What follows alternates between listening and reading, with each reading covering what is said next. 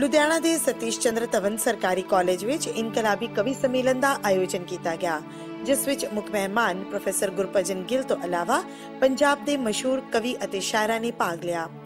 ਇਸ ਮੌਕੇ ਸ਼ਹੀਦਾਂ ਨੂੰ ਯਾਦ ਕਰਦੇ ਹੋਏ ਸ਼ਰਧਾ ਸੁਮਨ ਵੀ ਅਰਪਣ ਕੀਤੇ ਗਏ।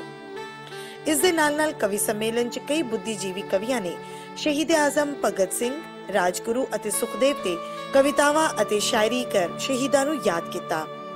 ਸੰਮੇਲਨ 'ਚ ਪਹੁੰਚੇ ਕਈ ਨੌਜਵਾਨਾਂ ਨੂੰ ਵੀ ਸ਼ਹੀਦਾਂ ਦੇ ਰਸਤੇ ਤੇ ਚੱਲਣ ਲਈ ਅਪੀਲ ਕੀਤੀ ਗਈ इस सम्मेलन में प्रेमी बादल और कवि एक ही चीज से बने होते हैं और शहीदों को अक्सर पागल कहते हैं वर्गी शायरी पेश की गई ਸਤੀਸ਼ ਚੰਦਰ ਧਵਨ ਸਰਕਾਰੀ ਕਾਲਜ ਅੱਜ ਸ਼ਹੀਦਾਂ ਨੂੰ ਸਮਰਪਿਤ ਕਵੀ ਦਰਬਾਰ ਕਰਾ ਰਿਹਾ ਔਰ ਉਹਦੇ ਵਿੱਚ ਬਹੁਤ ਸਾਡੇ ਵੱਡੇ ਜਿਹੜੇ ਪੱਧਰ ਦੇ ਕਵੀ ਹੈ ਪੰਜਾਬ ਦੇ ਉਹ ਚ ਸ਼ਾਮਿਲ ਹੋ ਰਹੇ ਨੇ ਔਰ ਉਹਦੀ ਪ੍ਰਧਾਨਗੀ ਜਿਹੜੇ ਸਾਡੇ ਗੁਰਭਜਨ ਗਿੱਲ ਜੀ, ਜੋ ਕਿ ਬੜੀ ਨੋਨ ਫਿਗਰ ਹੈ ਪੰਜਾਬ ਦੀ ਸਾਹਿਤ ਵਿੱਚ, ਉਹ ਕਰ ਰਹੇ ਨੇ।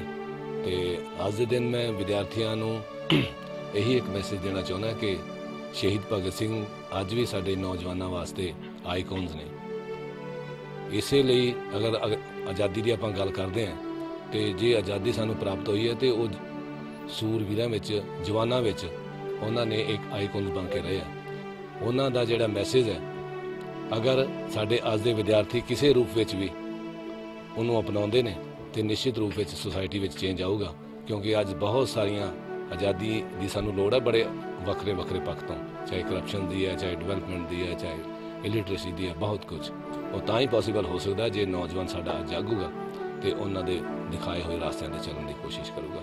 ਤੇ ਮੈਂ ਆਪਣੇ ਵਿਦਿਆਰਥੀਆਂ ਦਾ, ਸਾਡੇ ਸਾਰੇ ਕਵੀਆਂ ਦਾ ਅੱਜ ਦੇ ਦਿਨ ਸਵਾਗਤ ਕਰਦਾ ਪੰਜਾਬੀ ਸ਼ਾਇਰਾਂ ਦਾ ਸੁਭਾਗ ਹੈ ਕਿ ਸ਼ਹਾਦਤ ਦੇ ਪੂਰਵ ਸੰਧਿਆ ਤੇ ਅੱਜ ਗਵਰਨਮੈਂਟ ਕਾਲਜ ਲੁਧਿਆਣਾ ਨੇ ਸ਼ਹੀਦ ਭਗਤ ਸਿੰਘ ਰਾਜਗੁਰੂ ਤੇ ਸੁਖਦੇਵ ਹੋਰਾਂ ਦੀ ਯਾਦ 'ਚ ਇੱਕ ਪੰਜਾਬੀ ਕਵੀ ਦਰਬਾਰ ਕਰਵਾਉਣ ਦਾ ਪ੍ਰਬੰਧ ਕੀਤਾ।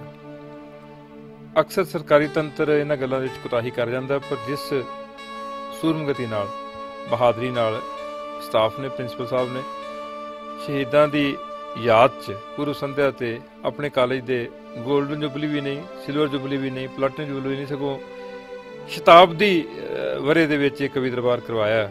ਇਹ ਮੈਂ ਸਮਝਦਾ ਕਿ ਮੇਰੀ ਜ਼ਿੰਦਗੀ 'ਚ ਇਸ ਲਈ ਵੀ ਪ੍ਰਾਪਤੀ ਵਰਗਾ ਕਿ ਮੈਂ ਇਸੇ ਕਾਲਜ ਦਾ ਵਿਦਿਆਰਥੀ ਹਾਂ। ਇੱਥੋਂ ਹੀ ਮਾਸਟਰਸ ਡਿਗਰੀ ਕਰਕੇ ਮੈਂ ਰੋਜ਼ਗਾਰ ਦੇ ਰਾਹ ਤੁਰਿਆ ਸੀ।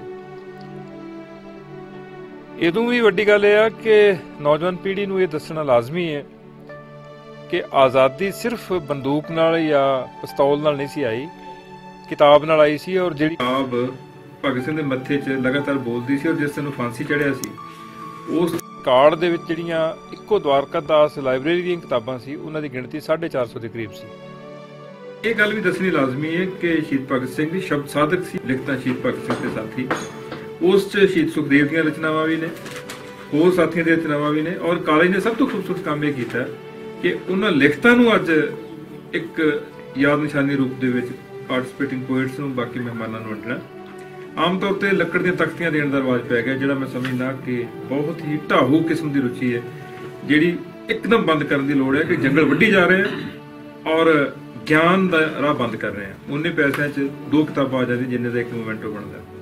ਸੋ ਉਹਦੇ ਲਈ ਪ੍ਰਿੰਸੀਪਲ ਸਾਹਿਬ ਵਧਾਈ ਦੇ ਹੱਕਦਾਰ ਨੇ, ਵਿਦਿਆਰਥੀ ਵਧਾਈ ਦੇ ਹੱਕਦਾਰ ਨੇ ਕਿ ਉਹਨਾਂ ਨੇ ਸ਼ਾਮ ਦੀ ਅੱਜ ਜਿਹੜੀ ਸਮਰਪਿਤ ਭਾਵਨਾ ਹੈ, ਉਹ ਡੈਡੀਕੇਟ ਕੀਤੀ ਹੈ। ਉਹਨਾਂ ਸਾਡੇ ਸ਼ਹੀਦਾਂ ਨੂੰ ਇਹਨਾਂ ਦੀ ਕੁਰਬਾਨੀ ਦਾ ਨਿੱਘ ਮੰਨਣ ਦੇ ਨਾਲ ਨਾਲ ਅਜੇ ਵੀ ਸਵਾਲ ਸਾਡੇ ਸਾਹਮਣੇ ਖੜਾ ਹੈ ਕਿ ਜਿਸ ਆਜ਼ਾਦੀ ਦੀ ਗੱਲ ਭਗਤ ਸਿੰਘ ਰਾਜਗੁਰੂ ਤੇ ਸੁਖਦੇਵ ਨੇ ਕੀਤੀ ਸੀ, ਕਿ ਉਸ ਕਿਸਮ ਦੀ ਆਜ਼ਾਦੀ ਲੋਕ ਮੰਨ ਰਹੇ ਨੇ? ਜੇ ਨਹੀਂ ਮੰਨ ਰਹੇ, ਤਾਂ ਵਰਤਮਾਨ ਜਵਾਨੀ ਕਿੱਥੇ ਹੈ? ਕਿਉਂ ਨਹੀਂ ਸੋਚਦੀ ਕਿ ਅਸੀਂ ਕਿਹੜੇ ਚੁੰਗਲ 'ਚ ਉਲਝੇ ਹੋਏ ਆ ਜੇ ਪੈਰਾਂ 'ਚ ਫਿਰ ਬੇੜੀਆਂ ਨੇ, ਫਿਰ ਸੰਗਲ ਨੇ, ਤਾਂ ਇਹ ਤੋੜਨ ਵਾਸਤੇ ਵੀ ਜਵਾਨੀ ਨੂੰ ਤੁਰਨਾ ਪੈਣਾ ਪਰ ਉਹ ਸ਼ਾਸਤਰ ਦੇ ਸਹਾਰੇ ਬਹੁਤੀ ਵਾਰੀ ਸ਼ਸਤਰ ਭੁਲੇਖਾ ਪਾ ਦਿੰਦਾ ਕਿ ਸ਼ਾਇਦ ਤਾਕਤਵਰ ਹੁੰਦਾ ਹੈ, ਸ਼ਾਸਤਰ ਹੀ ਤਾਕਤਵਰ ਹੈ। ਮੈਨੂੰ ਤਾਂ ਰਾਜ ਕਸ਼ਮੀਰੀ ਦਾ ਖੇਰ ਯਾਦ ਆ ਰਿਹਾ ਇਸ ਮੌਕੇ ਤੋਂ ਗੱਲ ਕਰਕੇ ਖਤਮ ਕਰਾਂਗਾ। ਉਹਨੇ ਆਖਿਆ ਸੀ ਕਿ ਉੱਠ, ਬਦਲੇ ਨੇ ਇਨਸਾਨ ਦੀ ਤਕਦੀਰ ਹਾਲੇ ਵੀ। ਨਜ਼ਰ ਸਖਣੀ ਹੈ, ਗਲਮਾ ਲੀਰੋ ਲੀਰ ਹਾਲੇ ਵੀ। ਤੇ ਵਾਜਾ ਮਾਰਦੀ ਹੈ ਦੇਸ਼ ਦੀ ਭਟਕੀ ਜਵਾਨੀ ਨੂੰ। ਮਾਨਵਤਾ ਦੇ ਪੈਰੀ ਛਣਕ ਦੀ ਜੰਜੀਰ ਹਾਲੇ ਵੀ। ਉਹ ਜੰਜੀਰ ਤੋੜਨਾ ਹੀ ਅੱਜ ਦੇ ਕਵੀ ਦਾ ਵਾਰਤਾ ਮੁੱਖ ਮਨੋਰਥ ਹੈ। Bureau report, Ludhiana view.